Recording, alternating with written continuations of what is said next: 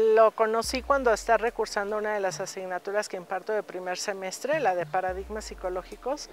Él era alumno de la mañana nada más y se pasa en la tarde para empezar a recursar materias de las que ya estaba pues, quedando eh, en adeudo y es ahí donde lo conozco y a partir de ese momento eh, él se sintió muy a gusto con los compañeros de la tarde y empieza a meter más materias en la tarde.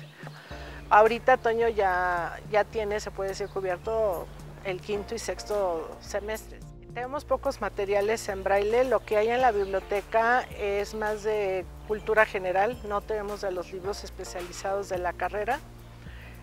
Mm, él necesita también computado, una computadora especial, usa la grabadora para poder tener la clase y, este, y el estarla repitiendo es como él repasaba me ha comentado que algunos profesores pues, no se sentían a gusto de que los estuviera grabando. Y lo de la computadora, pues es una, una computadora, se llama tiflonera, que es especial para personas ciegas.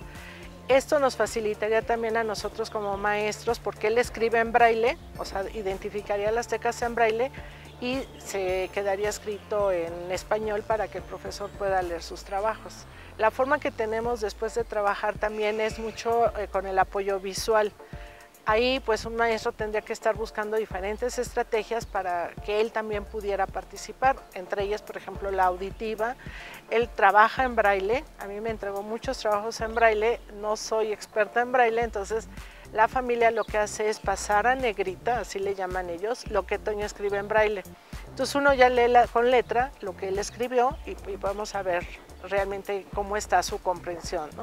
Y lo que yo también utilizaba era de lo que él traía en sus apuntes de braille, le decía que me leyera, o le pedía los trabajos en braille y luego le pedía que me dijera qué era lo que había escrito. Actualmente hablamos de que debemos de tener una cultura de la inclusión y ahí entraría una gama enorme, ¿no? Pero bueno, en el caso de Toño, eh, hay muchas personas que no conocen o no se ponen en sus zapatos de qué necesita ser una persona ciega. Por ejemplo, Toño, si no le hablamos, queda excluido, no se da cuenta de nada. Y eso le crea, me di cuenta que le creaba ansiedad en la clase. Cuando los alumnos o el grupo estaba trabajando en algo sin hacer ruido, él empezaba o a reírse o a hablar solo. Entonces, bueno, yo me acercaba y le explicaba qué era lo que estaban haciendo y que por eso no escuchaba ruido. Y así fue como me di cuenta que le podía ayudar a que se sintiera más. Entonces ahí también, esa es la parte de que tengo cultural que nos hace falta trabajarla. Y, la empatía, ¿no? la sensibilidad a las necesidades que, tienen las otras personas y un poco la apertura de que no todos van a pensar y a, ser igual que, que somos nosotros. ¿no?